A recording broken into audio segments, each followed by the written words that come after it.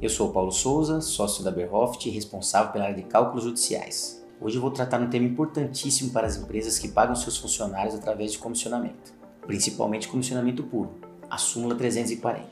A súmula 340 ela rege a apuração somente do adicional daquela hora trabalhada, visto que a hora trabalhada já foi pago dentro do mês. Muitas vezes precisamos nos ater na defesa à suscitação dessa súmula, pois quando ela não é suscitada ou quando ela é suscitada e num deferimento o juiz acaba sendo omisso, precisamos nos ater para fazer um ED para que não fique precluso na fase de execução. Quantas vezes nós aqui contadores ficamos de mãos atadas relacionadas a não poder aplicar essa súmula ou por uma omissão na defesa ou realmente por não se ater que o juiz foi omisso numa decisão.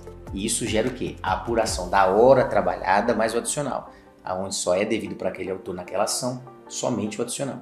Isso gera diferenças absurdas, chegando a 60%, 70% em alguns casos, em algumas ações. Espero que tenham gostado, curtam nossos vídeos, acompanhem nossas redes sociais e até a próxima.